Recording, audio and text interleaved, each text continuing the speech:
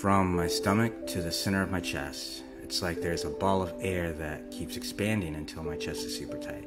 I try mindful breathing to exhale it out, but it comes back in full force.